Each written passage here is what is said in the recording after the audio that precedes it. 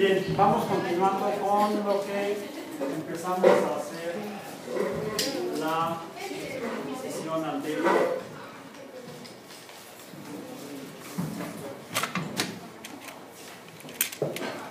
El curso entonces es física biológica. Bien. Eh, para acordarnos. De hecho, aquí está el grupo de Facebook. Ya les había informado, ¿no? Pues, eh, sí, se me pasó la sesión anterior. Eh, sí, les, sí les mostré lo de la, la, página, el sitio web, ese sí. Bueno. Además del sitio web, que es un sitio web en un servidor oficial de la UAM, por eso dice WAM.mx, entonces es el dominio de la UAM, el dominio de internet de la UAM. Todo lo que diga WAM.mx es oficialmente de la UAM, todo. Este, eh, ese sitio está en el servidor que se llama Investigación de la Universidad Palabra, el sitio de nuestro curso. Para apoyarnos eh, usamos diferentes herramientas para ayudar, tratar de ayudar a que esto sea mejor todavía. Eh, y si bien la principal actividad la hacemos en las aulas y aquí es donde nos comunicamos, hablamos, discutimos sobre lo que es la física y, cómo la necesitamos para entender mejor cómo, qué y cómo son los sistemas biológicos. Eh, es muy útil usar otras herramientas de comunicación, de distribución de conocimiento, de información, eh, otros materiales que podemos usar para entender, para tener más información y poder entender mejor las cosas. Entonces, es por eso que incluso hice el sitio web. En el sitio web, de hecho, ustedes encuentran varias cosas. Encuentran una cuenta de Twitter, eh, encuentran una cuenta de YouTube, un canal de YouTube. Ambos eh, eh, son personales, no son oficiales de la Universidad de la UAM, pero yo los uso para apoyar mi actividad docente como, profesor en la UAM.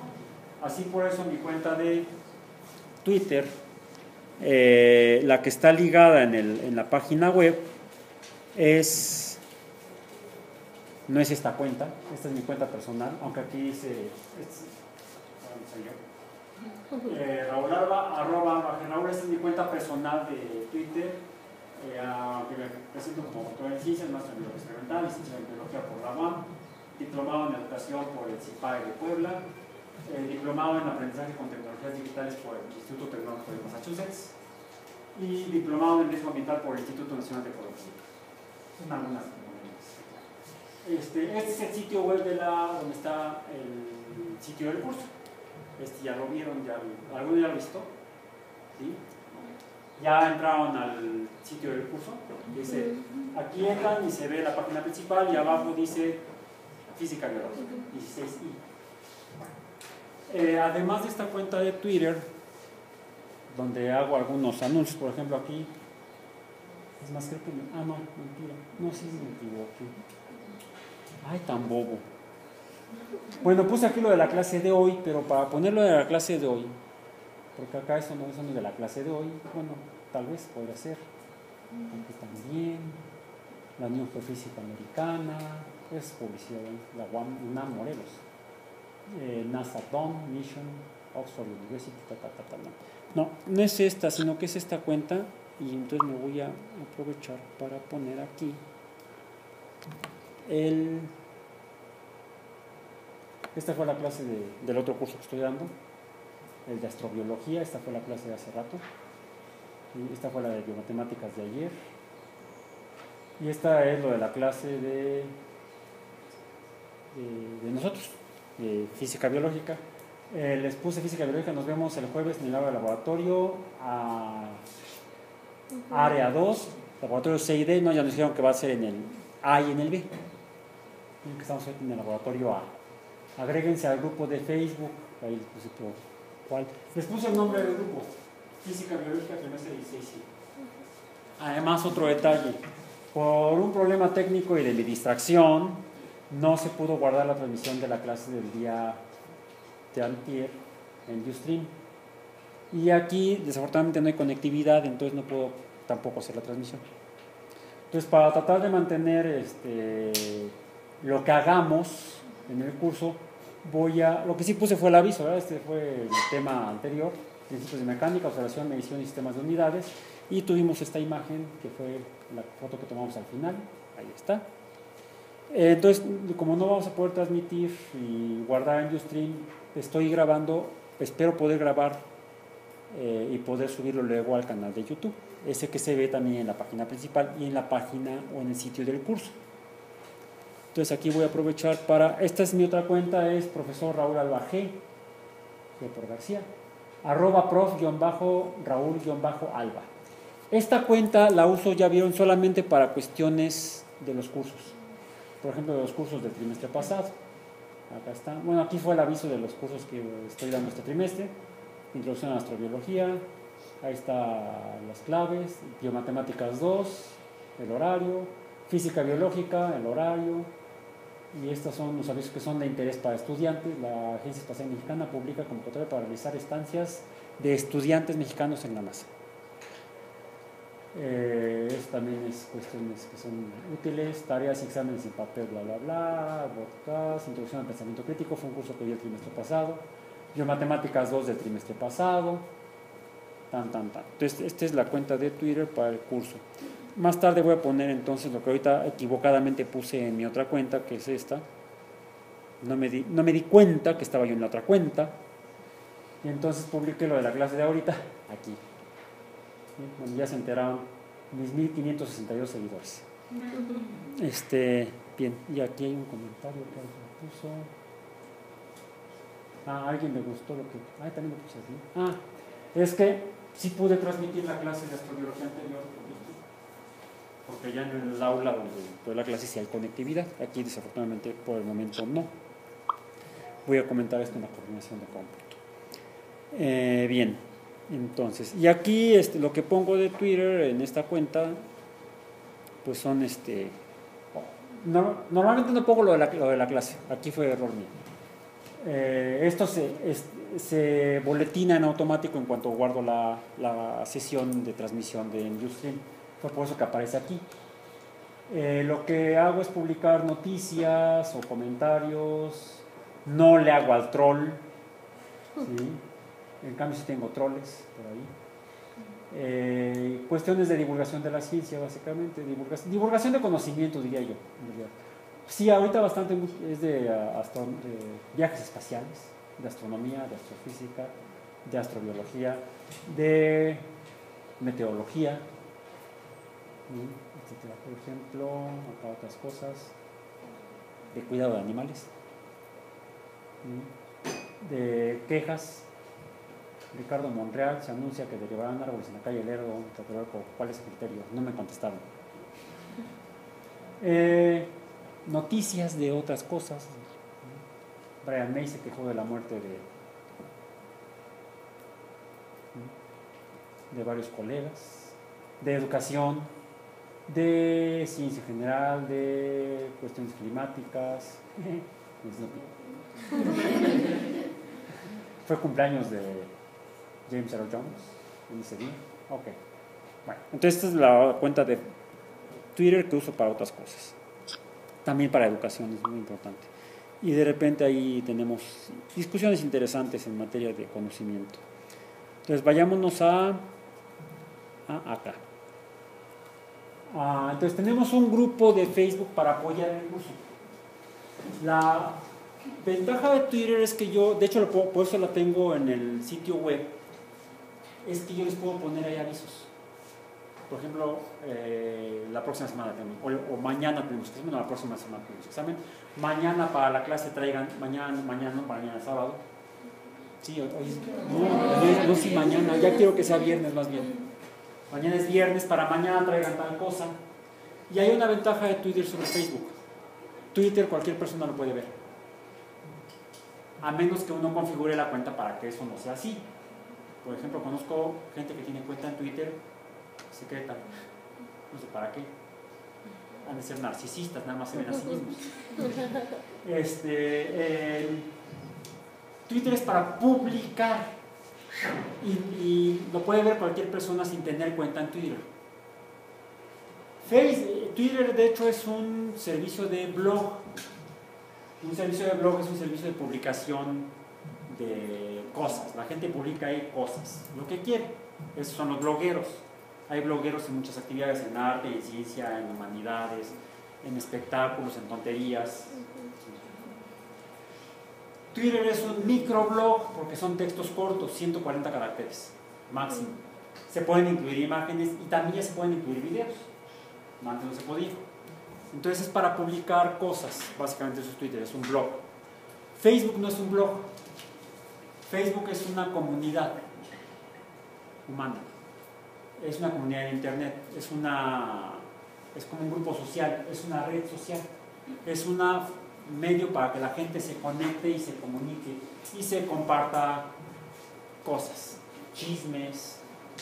Bueno, y dentro de los servicios que tiene Facebook es dar la posibilidad de formar grupos dentro de esa gran red que es Facebook. Se pueden hacer subredes, que son los grupos. También se pueden hacer otras cosas como páginas web, páginas de Facebook. En este caso hice un grupo para el curso de física biológica. Lo hice el 5 de enero, me lo trajeron los Reyes Magos. No, eso es el día, 6. Bueno, está. La hice, ahí está. Eh, el grupo de Facebook. Y aquí eh, puse de qué se trata. Es un grupo dedicado al curso de física biológica, grupo BB02, trimestre 16, de la UAM, Unidad Iztapalapa. Eh, el objetivo del curso y por lo tanto del grupo es ese, que es el objetivo del curso. Y este también ya lo vimos. Reconocer los conceptos básicos de la física que permitan comprender el funcionamiento de los fenómenos biológicos. esa es nuestra meta, tratar de entender mejor los sistemas biológicos. Y hasta le puse una imagen. El gato de Schrödinger. Es cierto, es el gato de Raúl Alba. Y por cierto no se llama Schrödinger, se llama Planck. Aunque le puse ahí el gato de Schrödinger está listo para comenzar el trimestre. Y publiqué, publiqué aquí la lista de la semana de, de, inscripciones. Ahí está. ¿Correcto? Esta es la lista de hasta la semana de inscripciones. Por supuesto, ya en esta semana tenemos altas, bajas y cambios. Entonces aquí vemos a Aguilar Eugenio José Antonio, Aguilar, Aguilar Morales Araí Lisset, Casimiro Parra, Mónica Alejandra, bla, bla, bla, bla, bla. Ahorita hay... Eh, ah, y puse la fotografía que tomamos al final, que tomé yo al final del pizarrón de la clase anterior. Y qué bueno que la tomé porque entonces tenemos, tenemos al menos registro de, en general de qué es lo que vimos en esa clase que no pudimos grabar. Bueno, no, no pudimos realmente grabar, la transmitimos, quizá alguien la vio, no sé, no he revisado. Pero por un error mío al hacerle pic, no se grabó, no se almacenó. Entonces, afortunadamente he estado grabando las clases de física biológica desde que empezamos este curso en el 2013. Y de hecho hay un curso grabado de manera completa no recuerdo de cuál trimestre fue, creo que 2013 precisamente, uno de los cursos que impartí en 2013, lo grabé todas las sesiones y las subí al canal de YouTube. La primera clase casi siempre es muy parecida, no igual, no hay dos clases idénticas, pueden ser casi iguales. En este caso, la primera sesión es muy parecida en general, casi siempre hacemos lo mismo. Y terminamos con el, casi siempre con el mismo ejercicio de medir a alguno de ustedes y encontrar esa cosa rara, ¿no? Que, ¿Dónde estás, este, David? Allá atrás. Pues vimos que mides diferente. ¿Sí? ¿Por qué de esa indecisión? ¿Cuánto mides? ¿1,62 o 1,60?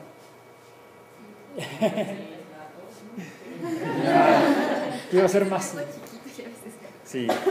Eh, fue, es interesante que eso suceda. No lo inventamos, es un hecho. Su compañero es elástico. es otro X-Men. Eh, bueno, em, principios de mecánica. Y esta es el. Aquí sí lo puse, aquí sí lo puse. Hoy vamos a continuar cerrando la, el tema de la sesión anterior, que es medición. y vamos a usar el que ya sabemos que podemos medir para conocer más. Como por ejemplo para conocer cómo se mueven y cambian las cosas. Para eso necesitamos medirlas, medir sus cantidades. Cerrando lo del grupo, bueno, de hecho aquí ya tenemos una solicitud de miembro. Ahorita indica que hay 10 miembros en el grupo. Eh, aquí están los nombres. De hecho, el primer miembro que está ahí es eh, Carlos Kerbel, ¿lo conocen? Sí. sí, y entonces, ¿qué, ¿qué, hace aquí? ¿Por qué no está aquí? Porque para crear un grupo en Facebook necesitamos dos personas. ¿Por qué parece?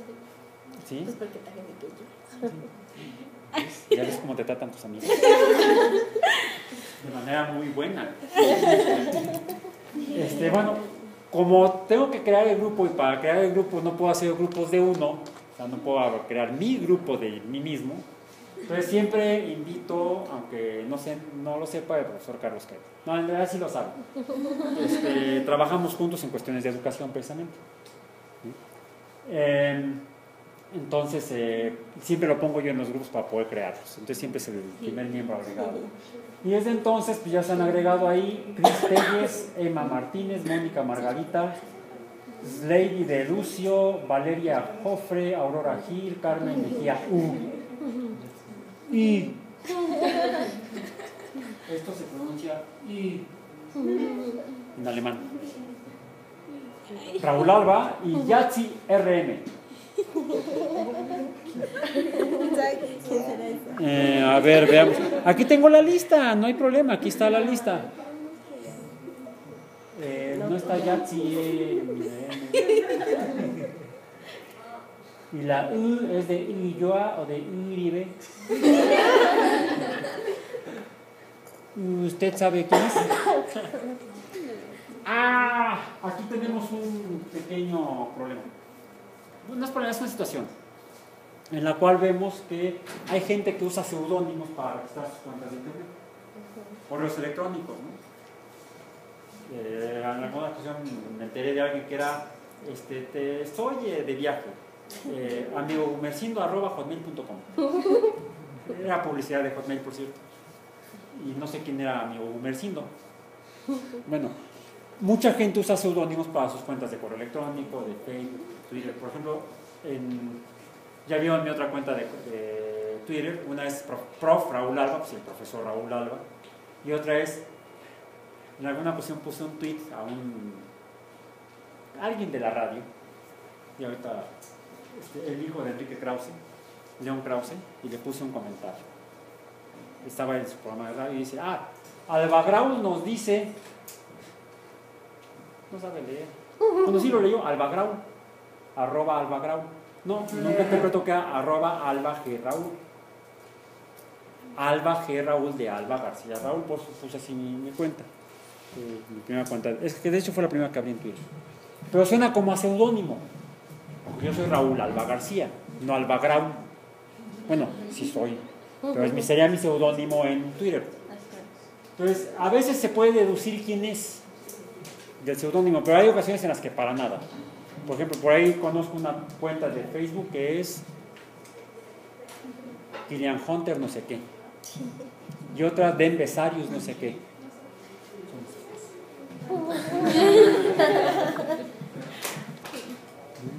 Según yo se llaman de otra manera, la verdad así lo dije en el registro civil. Pero bueno. Eh, bueno entonces, para poder eh, entendernos y comunicarnos, el grupo es para apoyarnos al curso poder anotar ahí qué es lo que hicimos. Es una especie como de memoria, de registro, de libro de bitácora. Libro de bitácora, que es, por ejemplo, el libro que usan en los navíos, donde registran la ruta de navegación del navío, los puertos que tocó, la carga que llevó, los tripulantes que estaban a bordo, todo eso se anota en el libro de del navío. De hecho, no es la única actividad humana en la que se utilizan libros de bitácora. También en la industria de la construcción se hacen, le llaman bitácoras, no el libro de bitácora, la bitácora de obra. los responsables de la bitácora de obra, incluso legalmente, son el ingeniero, el arquitecto y el maestro. Son los tres que firman los libros de bitácora. Y esos libros de bitácora incluso se tienen que hacer hasta por, por ley, en México, en el caso de México. Porque esos libros de bitácora se usan cuando sucede algo con esas construcciones. Se hace la investigación y se pide el libro de bitácora para tratar de identificar cuál haya sido la causa de esa situación.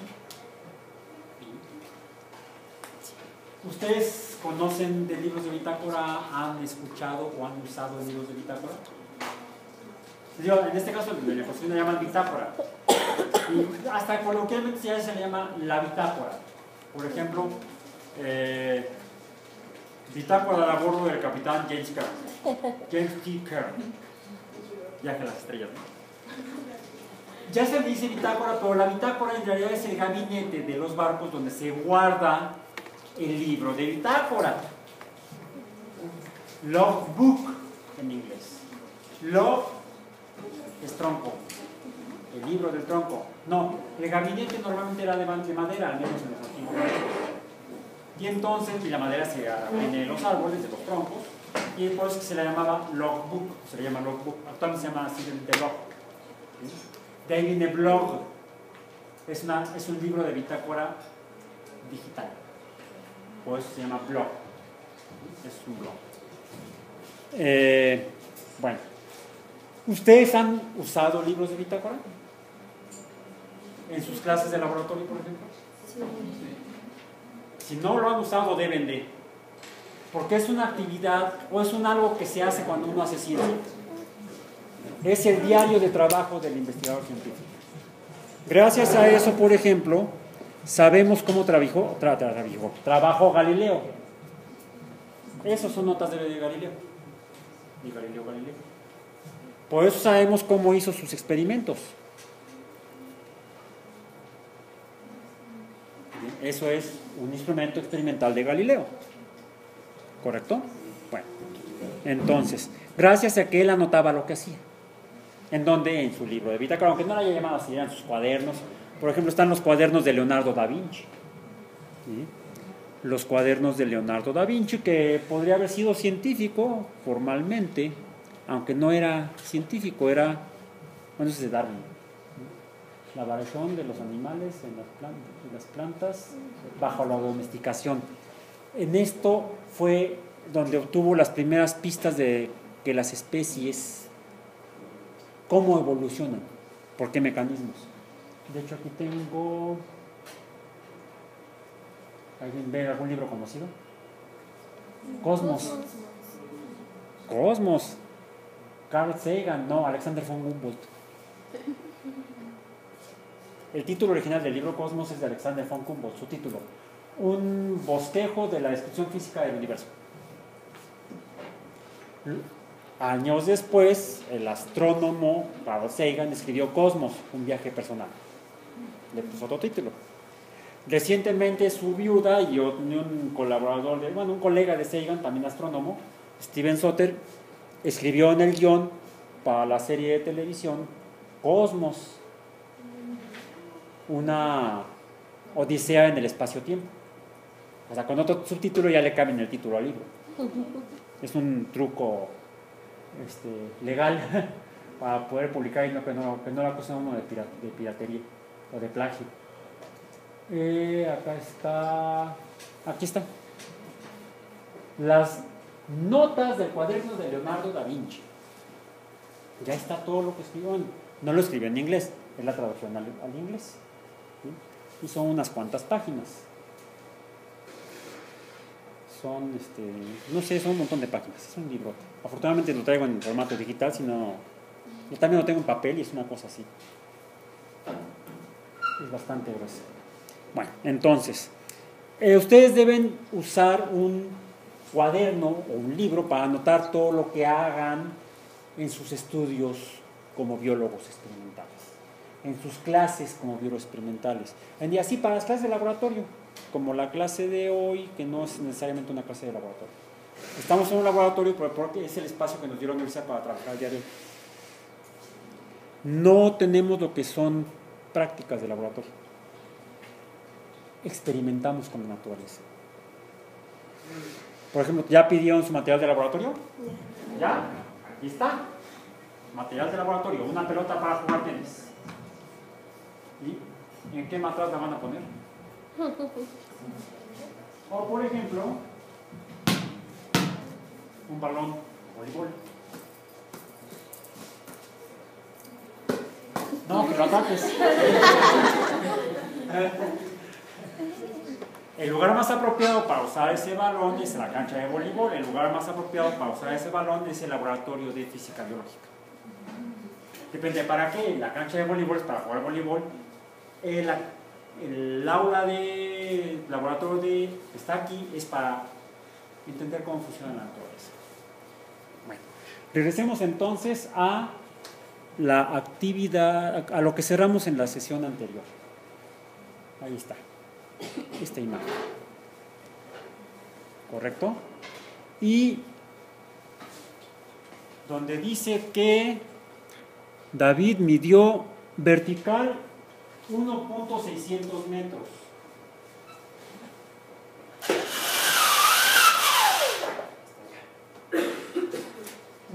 .600 metros lo que David. 1.600 metros vertical. Es más, voy a mover esta N de aquí y la voy a. Y voy a pasar la palabra vertical más a la derecha. Y 1.625 metros horizontal. Hay un detalle cuando uno quiere medir cosas. Por ejemplo, cierto la sesión anterior medimos con el flexómetro, que tiene hasta tres decimales de metro. Tiene decímetros, centímetros y milímetros. Traigo aquí mi otro instrumento de medición de longitud. Una vara con marcas para medir, que son marcas ubicadas cada punto un metros o cada 10 centímetros. Imaginemos que quiero medir la longitud de este plumón y no tengo el flexómetro.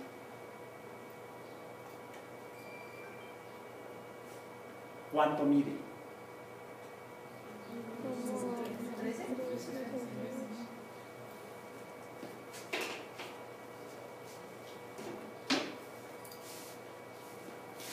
Este es David.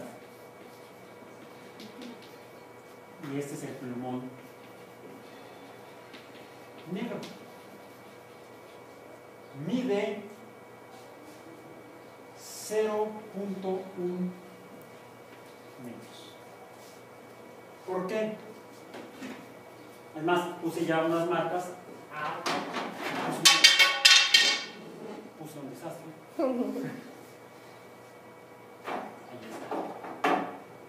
Ahí está. En mi dedo.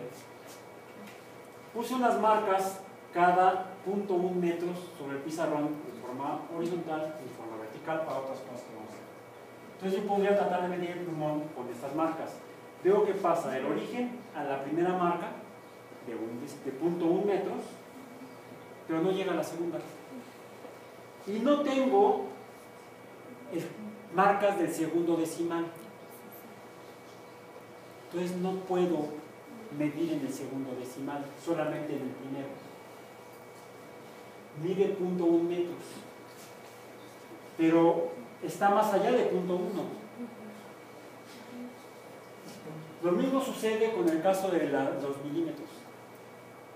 No sé, habría que verificar si la marca estaba exactamente en los 5 milímetros o se pasaba de los 5 milímetros. La horizontal que hicimos de David. Por eso es que ahí hay un error. Hay un error. Si yo digo que mide 3.13 o que mide puntos 6, 2, 5, 4, hay un error. Ese error lo indico de esta manera. Como más menos el último del, una unidad del último decimal. Aquí, de hecho, lo que estoy viendo es que voy a tener que ponerlo en chiquito, más menos 0.001 más menos 0.001. Es así como se debe señalar de manera estricta y correcta la cantidad medida, en este caso la longitud. Y esta es longitud. ¿Bien? Eh, y eso es para cualquiera de las cantidades, la longitud L, que se mide en metros, de las cantidades fundamentales, o por ejemplo, de la masa, que se mide en kilogramos, o del tiempo, que se mide en segundos. Siempre debemos señalar el error. Debido al instrumento de medición, debido al instrumento de medición, siempre hay un error en el último decimal, o en el último dígito, vamos a decir, porque si no estoy midiendo fracciones, si no estoy midiendo números enteros, siempre en el último dígito habrá un error para arriba y para abajo de una unidad del último dígito. ¿Bien? Además hay otra fuente de error, cómo se mide lo que estamos midiendo, vertical o horizontal. Eso lo voy a abordar en un momento porque les quiero mostrar ejemplos de medición de otra cantidad de algunos objetos que a lo mejor ahorita ustedes tienen un ejemplo de ellos, que son en particular, ¿dónde quedó la bolita? Literalmente aquí, aquí quedó la bolita. Mejor, me voy a la otra bolita, a esta de aquí. Voy a bajar la pantalla para verlo. Aquí estamos viendo cómo se mide la masa con una balanza. Ustedes, algunos de ustedes pidieron y les dieron una balanza de este estilo, una balanza granataria de plumas, se le llaman plumas, o de brazo. Eh, esa es una pelota de ping pong, bueno, de tenis de mesa dirían los que practican el ping pong. Ahí está. Esta pelota ¿Cuál es la cantidad de materia de esta pelota? La debo medir con una balanza. En este caso la masa que me está midiendo es en gramos, aunque debo expresar tal vez en kilogramos. ¿Cuántos gramos pesa, o pesa? ¿Cuántos gramos es la materia o la masa de esta pelota de ping-pong? 1.5 5. 1.5 más menos 0.1 gramos. Anótenlo. Va a ser necesario. Va a ser útil. Pelota de ping pong 1.5 y cotejen en los reglamentos oficiales del tenis de mesa cuál es la masa de una pelota, cuál debe ser la masa de una pelota oficial de tenis de mesa. Luego, Ah, bueno, es la misma. Ah, no, espérenme, me pasó el mismo que me pasó hace rato. Ya cambié la imagen aquí y no cambió allá. Ahí está, ahorita regreso. Luego les muestro, espero que reciba la señal. Está, ah, llegó. Eh, esta, es la, esta es la marca de la balanza y aquí dice que es una balanza de rayo de rayo triple, de rayo láser, no, de rayo triple. Cada una de estas reglas o, plumas o brazos, que también se llaman pins o rayos. En español le decimos balanza de brazo o de pluma, de triple pluma, de triple brazo. Esta es una pelota para jugar béisbol. Esta. Wilson.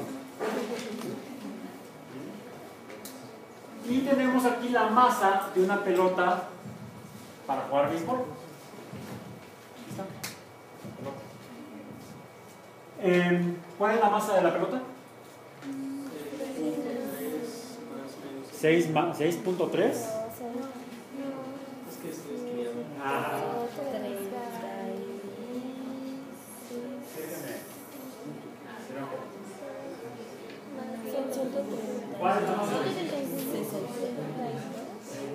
30. 36.2. Son 136. 136.2 Como 20. más menos punto 1 gramos. Lo más apropiado, de acuerdo al sistema internacional, es expresarla en kilogramos. Entonces sería, en realidad, 0.136 más menos punto 001 kilogramos. Pónganla de las dos maneras, por ejemplo. Ya sea en gramos y en kilogramos. Es una pelota para jugar béisbol. Una pelota para jugar tenis. Por cierto, una edición especial que sacaron de beneficio a la lucha contra el cáncer. Tres. Cada cilindro de pelotas trae tres pelotas. Entonces voy a sacar una. Y otra. Aquí está. La pelota Esperanza, hope. Esperemos que algún día. Yo lo veo difícil. Siendo científico me parece muy difícil. 0.0561 más menos el último dígito 1 ¿Bien? o 56.1 gramos más menos 0.1 gramos. Es una pelota de para jugar tenis. Una pelota para jugar squash. Por cierto pelota blanda es la que me gusta.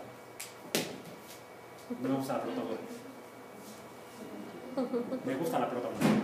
Ah, me gusta jugar con la pelota blanda Eh, ¿cuánto, ¿cuál es la, la masa de la pelota? Aquí, desafortunadamente, la primera, esta pesa me está bloqueando la, los- la medida del caso anterior. Entonces estaría, yo supongo que estaría en el 2, en el 20, perdón. 24. 124, 24. 124. No. Sí, ah, no, 0, no es cierto, 24, sí, sí. 24, 24 nada más. Más. Menos, no es 24, Punto cero. es 24.0, más menos punto 1. Debo indicar siempre el último, eh, eh, nivel de, de- la escala. Si es 0, debo poner punto 0, más menos punto 1. Pero cuidado, ¿ya vieron lo que hay aquí? Sí.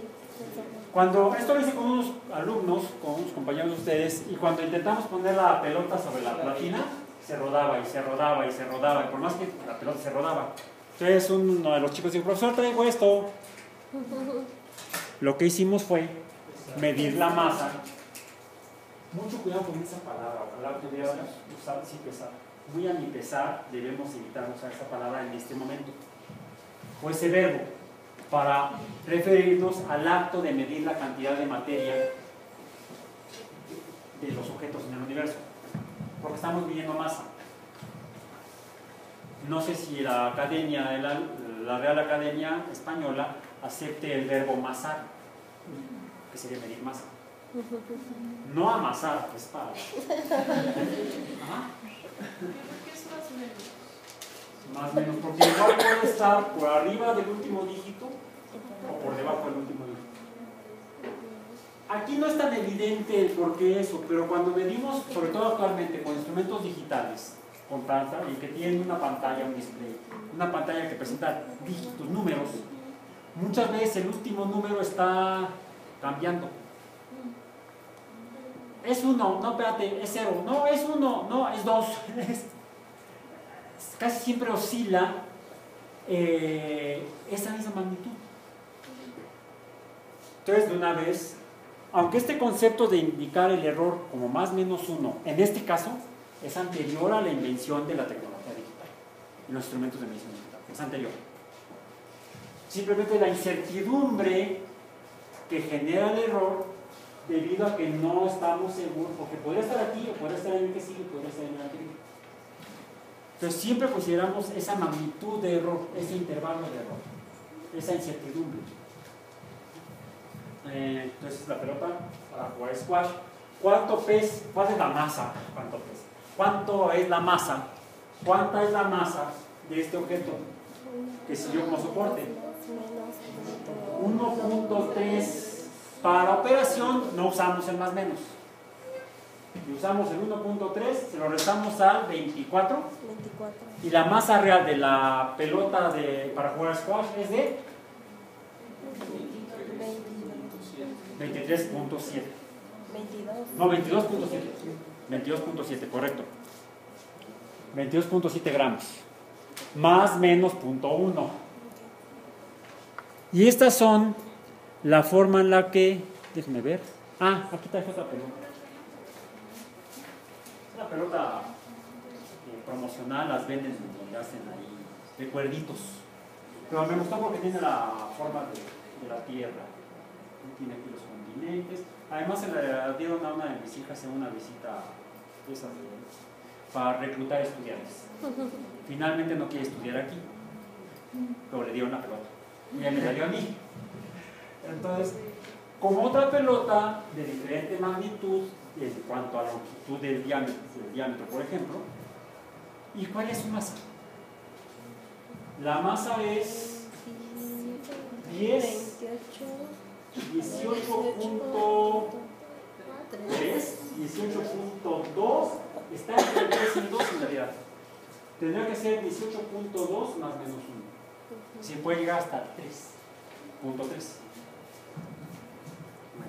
Entonces, ¿cuál es la más masiva? La que tiene más masa. La de béisbol, la de béisbol. ¿Cuál es la que tiene menos masa? Squash. Revisen también cuál es la magnitud de dimensiones de espacio de estas pelotas. Son pelotas reglamentarias todas. Para de tenis, la de ping pong, la de béisbol, son, pero- salvo esta que no sé si sea reglamentaria. No, pero las otras son reglamentarias. Béisbol, tenis, squash y, y tenis de mesa. Y entonces pueden calcular una cantidad derivada. ¿Cuál? Tienen la masa. Aquí se las. Pueden conseguir el dato del diámetro de la pelota. Con el diámetro de la pelota pueden calcular el volumen de la pelota. Que ya el volumen es una cantidad derivada. Y tienen la masa. ¿Cuál otra cantidad derivada pueden calcularse? La densidad. La densidad de la. Esta vamos a tratar de medirla. No es el mejor instrumento para medir este, esferas, un flexómetro, pero aproximadamente mediría punto, punto 065 metros. Anótenlo. La pelota esta del- de la tierra, pónganle pelota azul. La, tierra dice también la pelota, la camisa azul. Punto 06, a ver, tú dime. Mm, Sí, un 06. ¿Punto 06? ¿No, no llega al punto al 5? ¿A los 5 milímetros? No, al 6. Al 6, ¿verdad? Punto 06, punto 060, porque tenemos milímetros. Punto 060 metros, más menos punto 001. ¿Y cuál sería entonces la, la, este, la, la, densidad de esta? ¿Cuál es la densidad? Son iguales, tienen iguales densidades, tienen... Las masas son distintas. Las dimensiones de longitud y de volumen deben ser diferentes también. En densidades son iguales, son diferentes. ¿Cuál es más densa, cuál es menos densa? Ya vimos que la más masiva es entonces la pelota para jugar. Masa, ¿cuánto dijimos que es la masa de la pelota para jugar a béisbol? 136.2 más menos. Ok. Eh, vamos a terminar una parte de lo que estamos ahorita hablando para pasar al siguiente punto de la sesión de hoy, que es el movimiento. Cómo se mueven las cosas. tenemos la pelota más masiva, la, de, la para jugar béisbol. La pelota menos masiva, la pelota para jugar squash. Antes de proceder, les quiero decir que esta lista de material que está aquí es la que señala un material que van a usar ustedes en un momento, ya que termine yo esta parte, para que midan volúmenes, volúmenes.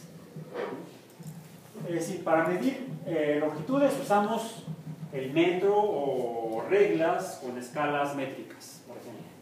Para medir la masa usamos balanzas o como, la que, como el dinamómetro que traje la sesión anterior.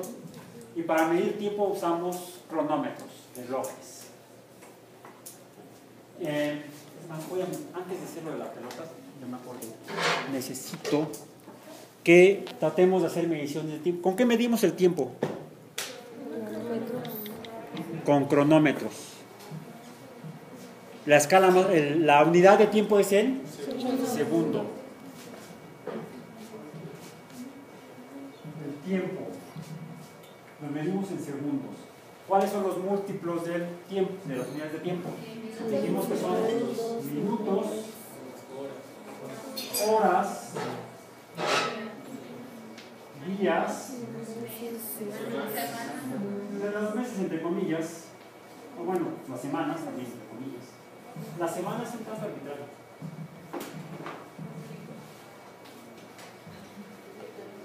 Históricamente en las sociedades tenemos registro que medían el tiempo en días, en meses y en años. Ya más recientemente en semanas. De hecho, bueno, vamos a ver. Semanas, meses, y años. ¿Cuánto es un segundo? ¿Ya lo revisaban en el sitio de la oficina de pesas y medidas? ¿Sí? Bueno, revisen. Eh, ¿Cuánto es un minuto? Pues 60 de esos segundos. ¿Cuánto es una hora? ¿Cuánto es un día? 23.59 y... No, a ver, ya no fueron 24 horas. Semanas, pues ahí siete. No, en día son cinco, profesor. ¿Cómo cinco? Sí, la semana inglesa. eh, meses, ¿cuánto es un mes? ¿Cuánto es una semana? Siete días. ¿Cuánto es un mes? Cuatro semanas, entonces los meses son de 28 días. No. Este año es de 29. ya te falló. En inglés es mon, viene de mon, y esto más o menos de moon. Es un, es un intervalo de tiempo asociado a los cambios que vemos en la luna, los cambios de apariencia. Eh, sin embargo, se estandarizó a 12 meses y hubo que ajustar. Pues, algunos meses tienen más días, tienen menos días. Los años. ¿Cuánto es un año? 12 meses, 52 semanas, 365 o 366 este año días. ¿Por qué? ¿Por qué 366 este año y los demás? Nomás porque hubo oferta, aprovechen, pásenle. ¿Cómo sabes que duran 365.25 días? Porque te dijo que un día dura 23.59 horas, entonces se iría como desplazando todo el tiempo. No, porque el día es el periodo de rotación terrestre. y son seis y el, la, el año hoy en día sabemos que es la traslación terrestre alrededor del Sol, pero eso apenas tiene 500 años de que alguien lo dijo, por escrito. Y tenemos el documento. Por cierto, el personaje aquí está. Bueno, una caricatura de él.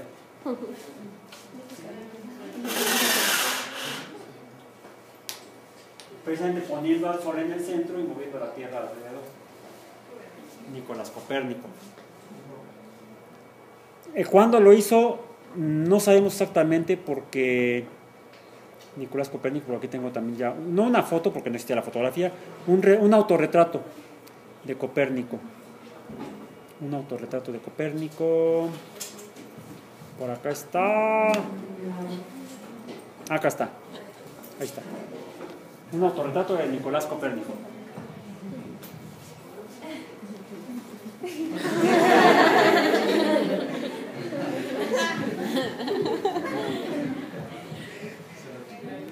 No fue exactamente un capricho, fue un producto de que un amigo y hicimos una obra de teatro.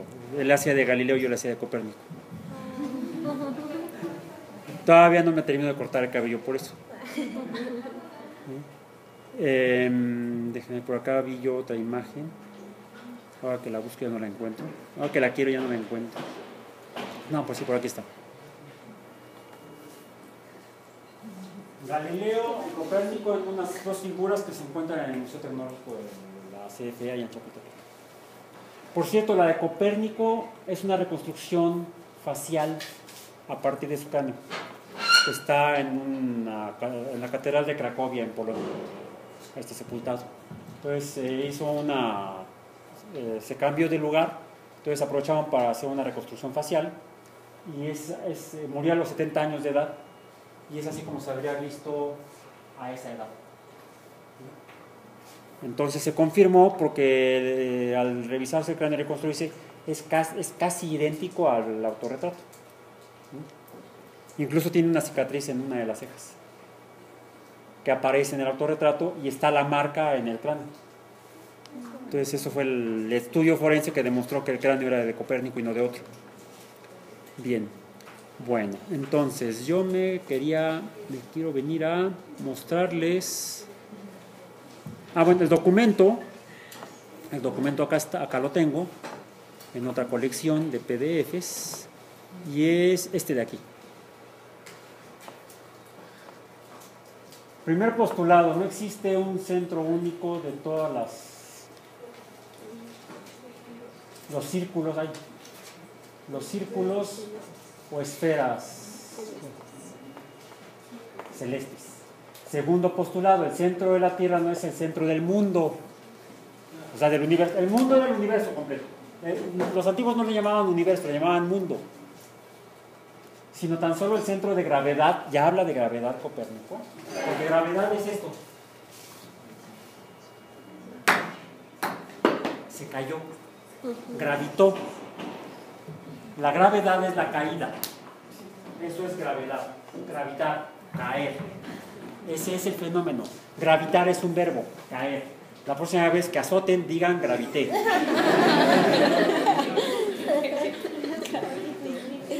Bien, bueno. El centro de gravedad y el centro de la esfera lunar. Sí, la luna sí gira alrededor de la Tierra.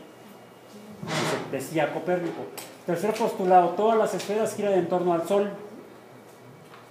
Ptolomeo, Claudio Ptolomeo de Alejandría decía, bueno, él lo puso por escrito, pero lo decían antes los, incluso los griegos, los egipcios, los sumerios, que el Sol, la Luna y las estrellas giran alrededor de la Tierra. Entre 1507 y 1514, Copérnico escribió esto.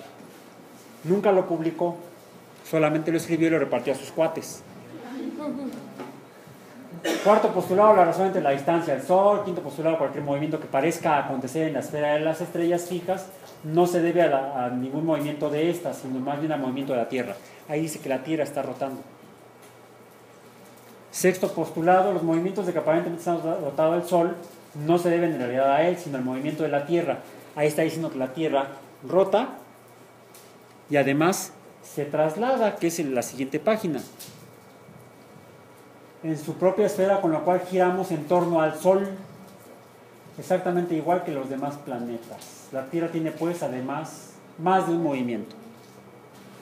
Séptimo postulado, bla, bla, bla, bla, bla. Eso no es el caso Ah,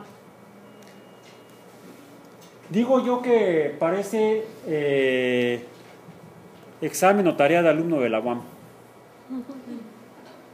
Porque en realidad esto no lo tenía el manuscrito de Copérnico, no tiene nombre.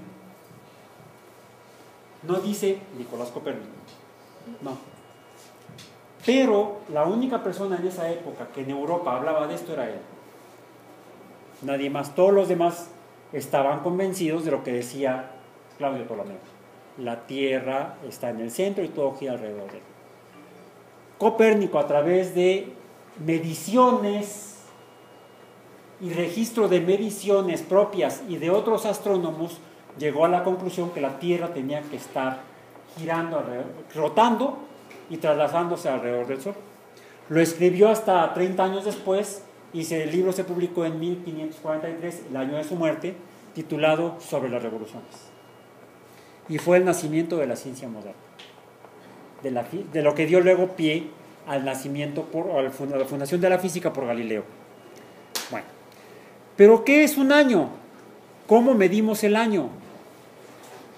En realidad, el año no supimos que era la traslación de la Tierra alrededor del Sol, sino hasta que lo escribió Copérnico y además hasta que le creyeron, que fue, si bien lo, lo publicó en el siglo XVI, 1543, solamente se aceptó hasta el siglo XVIII. Siglo XVII, siglo XVIII, no antes. Aunque uno de los primeros que sugirió que Copérnico estaba en lo cierto fue Galileo en 1609. Sin embargo, por decir eso, lo condenaron en el Santo Oficio en 1633, porque violaba las escrituras, lo acusaron de herejía. ¿Qué entonces es un año? Esta es una fotografía del atardecer, en la Ciudad de México, en una zona de la Ciudad de México.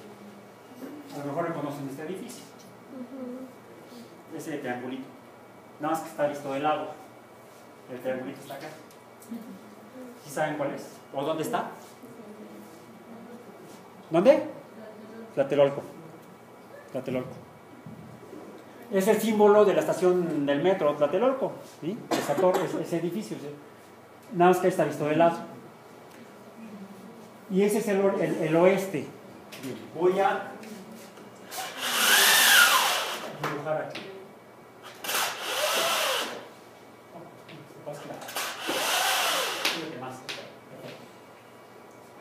Voy a borrar aquí los datos de David, porque voy a tener que dibujar aquí encima.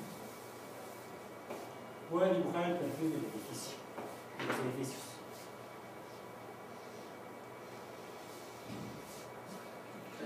Ah, bueno.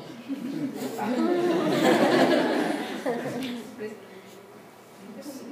le voy a hacer así. Aquí me acá, la torre.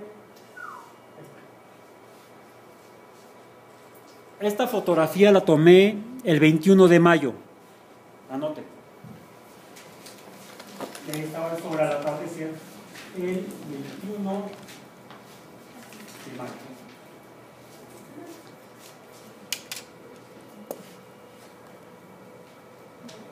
Mayo. Esta foto lo tomé, tengo que ajustar aquí porque luego la cámara no está exactamente en la misma posición.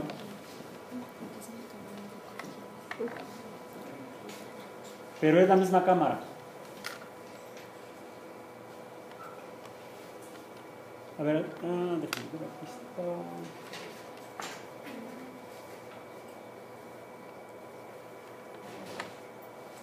Ay, me pasé. Ahí está. A lo mejor tengo que. No, está un poco. Vamos a. Es aproximado. Esta me Y el sol está aquí el, dije 11 de junio. 11 de junio. Bueno, 12 de junio es, varía poquito. ¿Correcto? Eh, ahora tengo que bajar. Bueno, es el de junio, está por ahí. 13 de junio, ok. Luego, el 20 de julio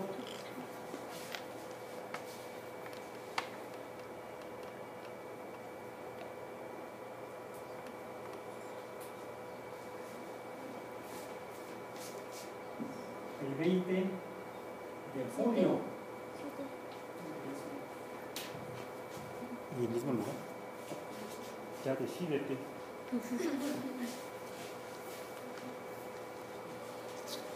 El 5 de agosto.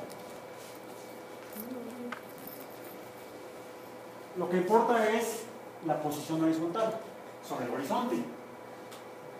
¿Qué día es? Dice. 5 de agosto. 5 de agosto. 05 de agosto. Parece más bien al muñeco de nieve. ¿Y si hacemos un muñeco? Olaf. ok. Em, 15 de octubre. En septiembre no pude porque estaba nublado. Sí, es la media temporada, temporada de huracanes. Eh, ahí está. Está por allá, ¿verdad? O sea, quedó más o menos por acá. ¿El qué día? 15 de octubre. 15 de octubre.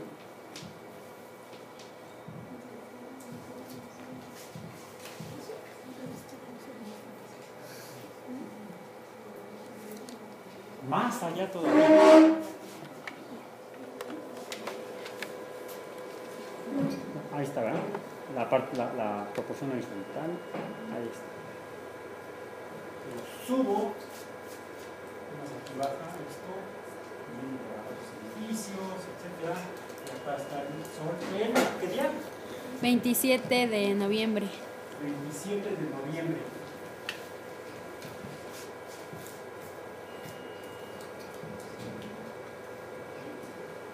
Veinticinco de diciembre. Brian May.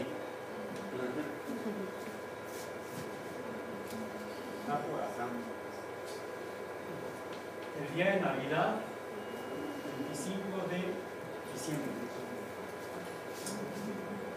Aparentemente. El 26 se ve un poco mejor. Está aquí.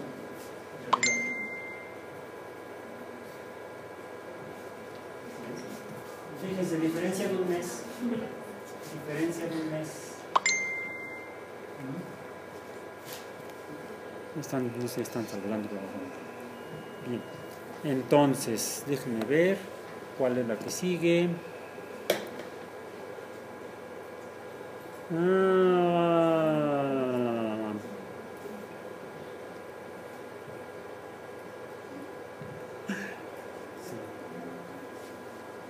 Tenemos que pasarnos para allá a ver. Ayúdame. Más allá, más allá, más allá, más allá, más allá. No sé si te lo pasamos para acá mejor. Ahí, ¿dónde quedó? Ahí está. Aquí está, fíjense, más, está un poco más por la derecha. Ahí está. Pero este día, ¿cuál es?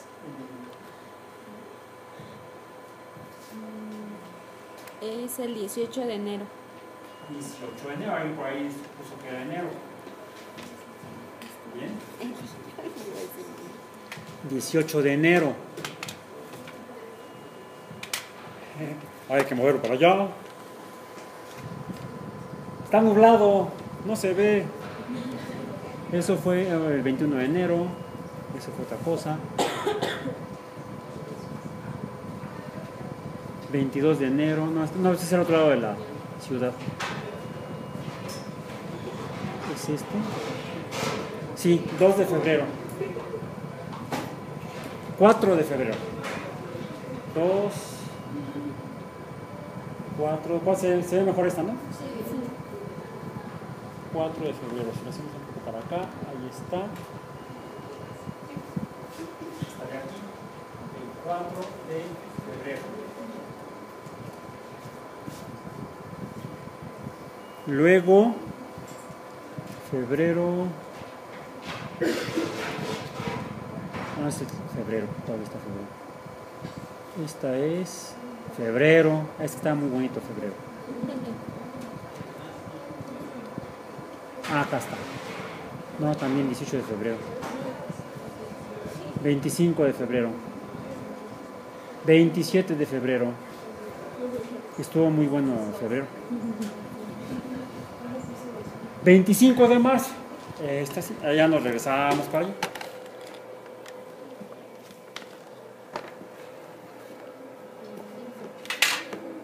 Veinticinco de marzo.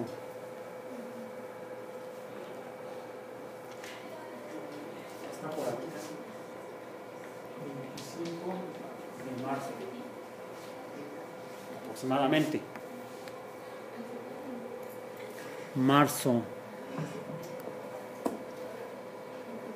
15 de abril.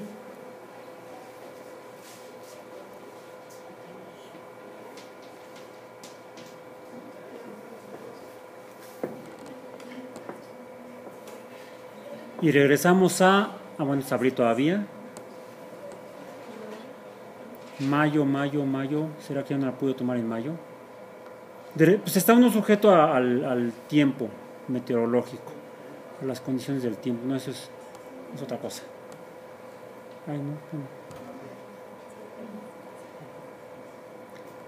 Aún así se alcanza a apreciar, me parece. Nam, nam, nam, nam, nam. Dientes, muchos dientes. ¿no? Ok. Bueno, aún así, ¿qué es lo que observan? ¿Qué es lo que notan? ¿Mm?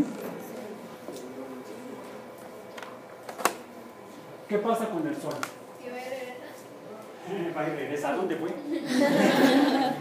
¿Por qué Ptolomeo suponía que el sol se mueve? Pues porque lo veía no solamente a lo largo de un día, primero de un lado, luego arriba, luego del otro lado, sino a lo largo del año veían que cambiaba de posición al salir por el este y al ocultarse por el oeste. ¿Se fijan cómo hablamos?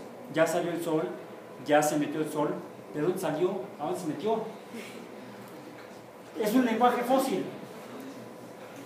Hablamos con lenguaje fósil de acuerdo a un concepto científico ya no válido. El Sol se mueve alrededor de la Tierra. Ya sabemos que no es cierto. Ahora sabemos que no es cierto. Em, Tenemos videos o películas tomadas desde el espacio donde se ve la Tierra rotando. ¿Mm? Y tenemos evidencia, tenemos fotografías desde más allá de Neptuno y desde cerca de Mercurio hacia el resto de los planetas y todos se ven alrededor del Sol. Entonces ya tenemos las evidencias de que Copérnico tenía razón. Sin embargo, seguimos hablando como antes de Copérnico. Porque así es lo que veíamos. ¿Qué es un año? ¿Qué es un año? Observacionalmente, no es la traslación de la Tierra alrededor Sol, porque no lo vemos. Lo que vemos es cómo se desplaza en el horizonte desde diciembre en un extremo hasta junio en el otro extremo, pasando en medio en marzo, y de hecho aquí también es septiembre, alrededor del veintitantos de septiembre, se encuentra aquí también. De hecho, podríamos decir que el 21 de septiembre y el 20 de, no, el 21 de, marzo y el 20 de septiembre está en la misma posición cuando vemos en la misma posición el sol en el horizonte cuando dejamos de verlo al atardecer o al anochecer. Y en la misma posición cuando lo vemos al amanecer. Esos días, ¿cómo les llamamos? A este de acá llamamos solsticio, invierno, en el hemisferio norte, verano en el sur, solsticio digamos. Este es el otro solsticio, y estos son los equinoccios.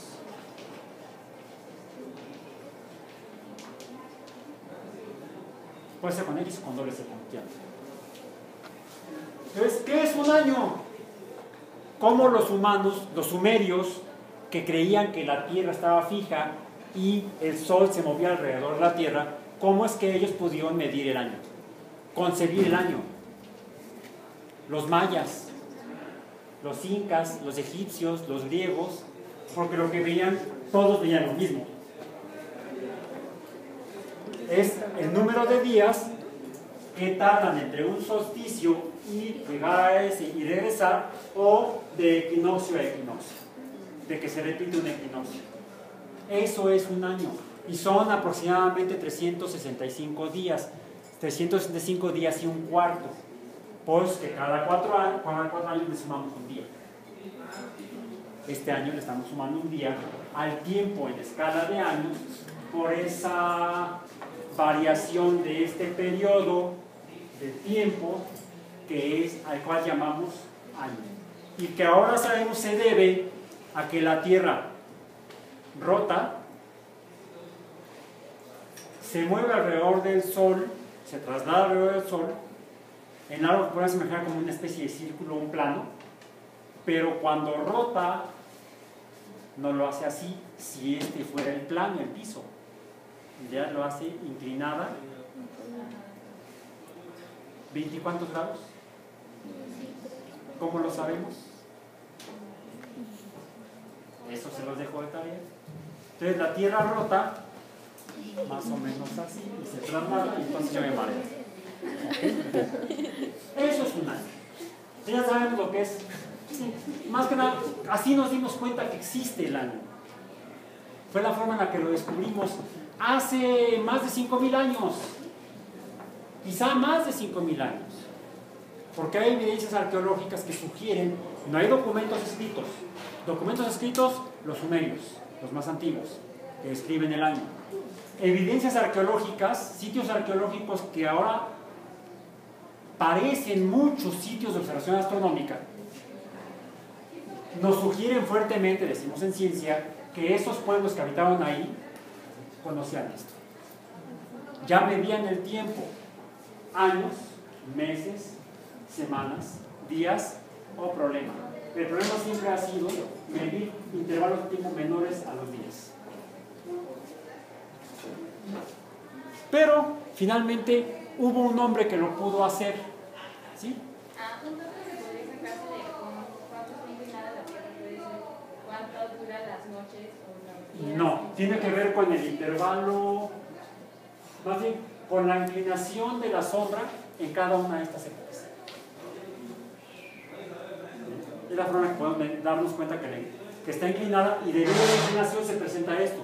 Si la Tierra rotara de manera en su eje perpendicular al plano orbital, no se vería esto.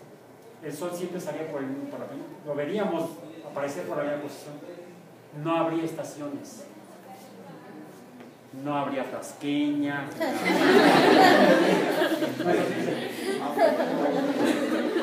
Habría humanidad, no lo sé, incluso. Son condiciones, las condiciones geofísicas quizá, quizá determinan la formación y la evolución de la vida. ¿Mm? Entonces, vemos que por eso es importante entender hasta eso, como biólogos. Los factores físicos influyen y determinan la naturaleza de la vida, donde ésta surja, y su evolución también.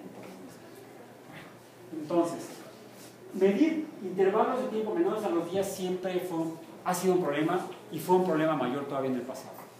Finalmente, el primero en poder medir fenómenos en tiempos muy pequeños fue alguien que yo que tenía, le corría por las venas.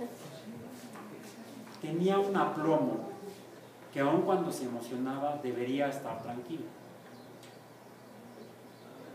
Porque él midió el tiempo en segundos usando algo como esto. Alguien diría, un yo-yo, no, un péndulo. Un yo-yo en movimiento. Galileo Galilei. ¿Sí? Siempre se mueve igual el péndulo.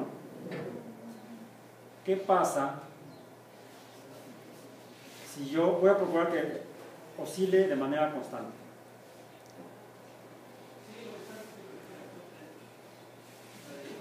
¿Qué es lo que notan? Se mueve.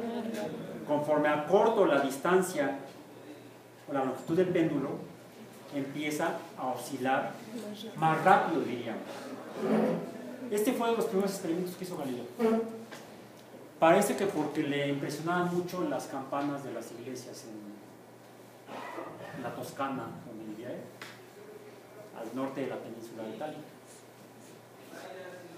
Hay campanas grandes, campanas pequeñas y la, el repique, qué tan rápido es o qué tan lento es, depende del tamaño de la campana, de la longitud, del, ¿no? del badajo de la campana. Y parece que fue un hombre muy curioso. Se preguntaba cómo, eh, se preguntaba el- sobre la naturaleza. Quizá el cómo o el por qué de la naturaleza, por qué se comporta así, cómo es que se comporta. Hoy en día sabemos que pudo contestar esta última pregunta, cómo, y no pudo contestar el por qué.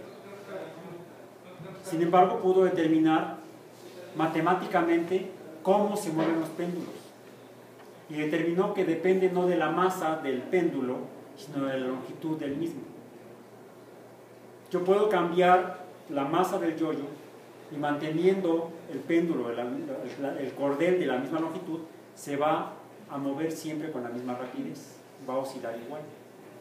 Y eso porque lo midió, midió el tiempo de ir y venir en segundos. ¿Cómo imaginan que lo hizo? Si no había relojes con esta mención, ¿cómo? ¿Contando? Pero ¿cómo sé que estoy contando? Un poco, más bien le hacía yo creo que así. El problema es que si te, si- si- si te emocionas, ya sé cómo funciona.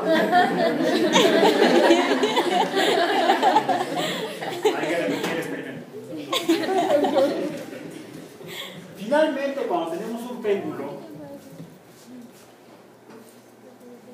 lo pongo aquí y inicialmente yo puedo decir, ah, bueno, para que oscile, debo elevarlo y tengo aquí una escala de longitud, lo voy a elevar. Ah, no, pero así no, tengo que elevarlo de lado. Por ejemplo, 20 centímetros. O junto 2 metros. Pero lo hago a un lado. Y entonces leo cómo oscila, cómo pasa de una altura mayor a una altura menor. Es como si cayera. Va de arriba para abajo, está cayendo, está gravitando. El péndulo gravita cuando oscila. Y Galileo también se preguntó entonces algo que ya Aristóteles había contestado, creyó haber contestado correctamente, pero lo contestó. Es como los exámenes, ustedes contestan.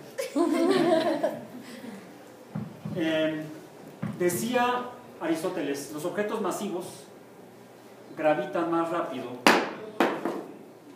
los objetos livianos. Tengo aquí la pelota más masiva, la pelota más liviana. Si la suelto de la misma altura, por ejemplo con esta escala, ¿cuál caerá primero? Según Aristóteles, la de béisbol deberá caer primero al piso que la pelota de ping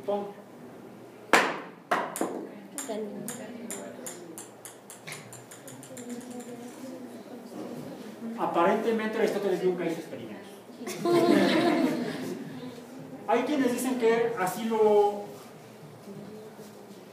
Esto lo hizo Galileo de esta manera aproximada. Es más, no sé qué subió, se subió a la torre de Pisa pensando que está inclinada y de arriba dejó caer cosas y entonces por eso lo mandaron al Santo Oficio, por vándalo. No. Puse en Facebook, ya les mostré, el instrumento que usó Galileo para poder determinar. Porque si yo quiero medir la oscilación del péndulo, lo puedo hacer midiendo mis pulsaciones. Si yo quiero medir la caída de estos objetos, me dará tiempo, alcanzaría a contar.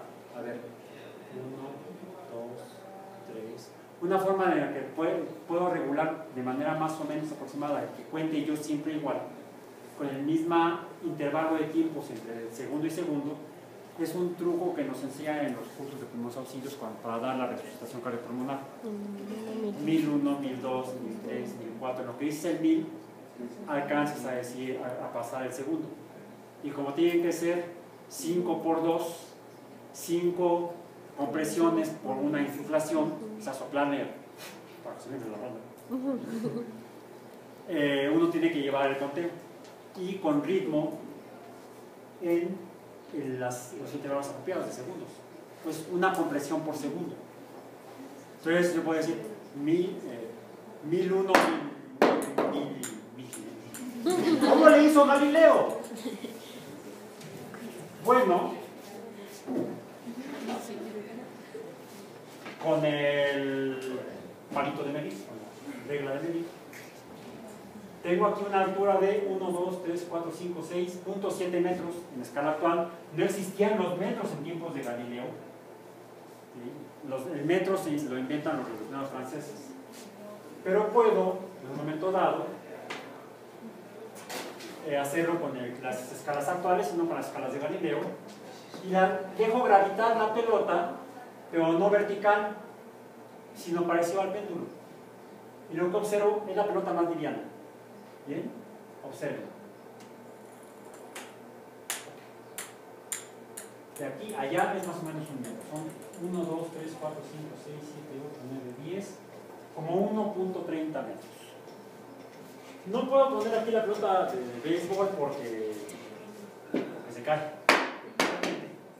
Pero sí puedo poner una pelota más masiva que la de ping pong, la de squash. Y puedo medir el intervalo de tiempo de caída inclinada de la de squash. Y cuando las mido, puedo llegar a la conclusión de que caen con la misma rapidez. Gravitan igual que cuando las dejo caer todas al mismo tiempo. Bueno, un fenómeno de que vamos a ver luego.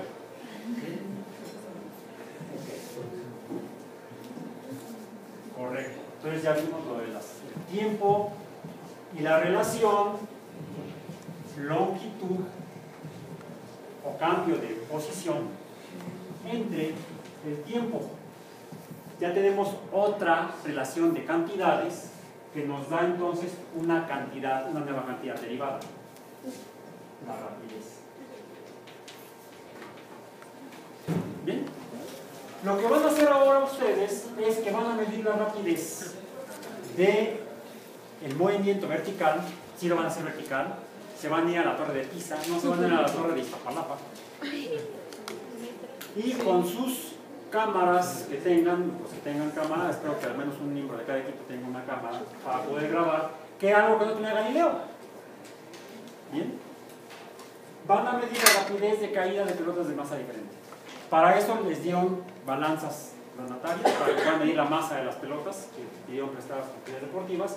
Y para hacer un ejercicio de medición y error, van a medir en los recipientes que les dieron, les dieron un vaso de precipitados, una Rasmendeye, una probeta graduada, y les dieron eh, un tubo de ensayo y una varilla de vidrio. Porque, por ejemplo, si yo quiero conocer el volumen de esta caja cúbica, pues no hay problema, tomo mi flexómetro y veo que mide .11 metros. .11 metros. .11 metros. Entonces puedo calcular el volumen simplemente midiendo los dados. Pero si yo quisiera medir el volumen de... ¿Les dio una varilla de vidrio? Ah, la varilla de vidrio. Bueno, esta mide punto punto 20 punto 2 1 siempre los milímetros cuestan trabajo. Y luego el diámetro.